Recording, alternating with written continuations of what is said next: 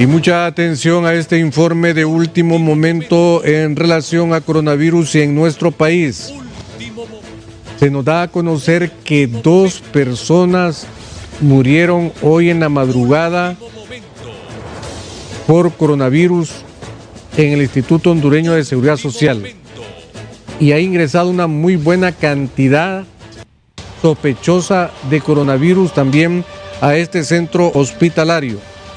El director regional del Instituto Hondureño de Seguridad Social en San Pedro Sula nos da algunos detalles. Doctor Omar Ajananía, buenas noches. Hola. Hola, buenas noches, doctor. Buenas noches. La verdad es que no le escucho muy bien porque el volumen está muy bajo. Está muy bajo. Doctor, si nos podría, si nos podría confirmar algunos datos, eh, han muerto hoy en horas de la madrugada personas contagiadas de coronavirus en el Seguro Social? Sí, evidentemente el día de hoy, una de las malas noticias que tenemos es que hoy fallecieron dos pacientes, una mujer femenina y un varón con un diagnóstico de coronavirus. Una mujer y un hombre. Sí. ¿Con síntomas o ya confirmados? Confirmados. Confirmados. Ahora, también ha ingresado una buena cantidad de sospechosos de coronavirus solamente hoy. ¿De cuánto estamos hablando? Mire, no es un volumen tan exagerado. Evidentemente nosotros hemos ingresado el día de hoy cinco pacientes con probable diagnóstico de COVID-19. A todos se le hicieron pruebas rápidas, las cuales todas salieron positivos. Por lo tanto, sigue el siguiente protocolo de hacer el PCR. Y esperamos que lo reconfirme la, el Ministerio de Salud para avanzar en los procesos de tratamiento. Doctor, ¿ya estas pruebas rápidas ya se están realizando e-, en el país? Bueno, lo único que le puedo confirmar yo es que nosotros en el seguro de San Pedro y en el seguro de Tegucigalpa sí estamos haciendo las pruebas rápidas.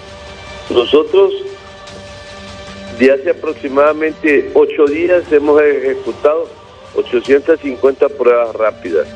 De esas pruebas rápidas, el 97% han salido negativas y el 3% han salido positivas.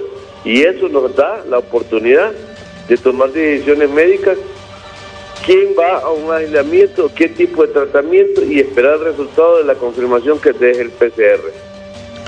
Y estas pruebas rápidas Em, ¿son confiables porque se hablaba de falsos positivos? ¿Son confiables estas pruebas rápidas? Todas las pruebas rápidas significan que es una resolución inmunológica. Significa que puede quedar, como se llama, una historia si usted padeció dengue. Significa que puede quedar una historia si usted padeció Zika, chikungunya o HN1. ¿sí? Pero realmente le da una valoración de arriba del 70 y el 80%. Y eso es más que todo suficiente para que usted pueda tomar decisiones médicas mientras viene el PCR. El problema del PCR es que debería estar en menos de 24 horas el resultado. Pero si lo tenemos 5 o 7 días después, estamos arriesgando al paciente. Sí. Ahora, usted dice que hace ocho días están en el Instituto Hondureño de Seguridad Social en Tegucigalpa y San Pedro Sula con estas pruebas rápidas. ¿Estas son diferentes al gobierno o por qué el gobierno en otros hospitales no ha implementado estas pruebas rápidas? Bueno, eso ya son decisiones eh, centrales, decisiones del Ministerio de Salud.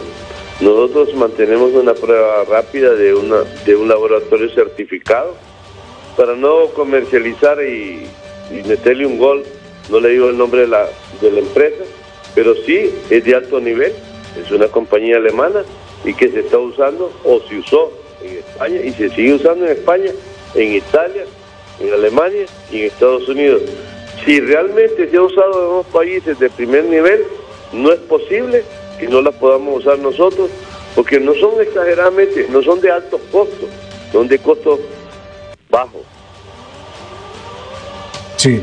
Bueno, muchísimas gracias, doctor Omar Jananía. que lamentablemente nos ha confirmado que dos pacientes han muerto esta madrugada. Se trata de un hombre y de una mujer. Ahora, ¿cuántos más están en estado crítico en el Instituto Hondureño de Seguridad Social? Actualmente tengo nueve pacientes hospitalizados en UCI y 38 pacientes hospitalizados en las salas COVID. Yo tengo 50 a la capacidad y realmente de 38 solo me quedan 12 cupos para lo que resta de la noche o al día siguiente. Usted como profesional de la medicina y con estos datos que nos está dando sobre esta decisión que mañana se abran en todo el país ferreterías, eh, ¿qué orientación em, le da a las autoridades del gobierno? Si siguiéramos los principios básicos de la protección, yo creo que se puede controlar. Recordamos, hay una frase que han estado utilizando, el COVID-19 vino para no irse.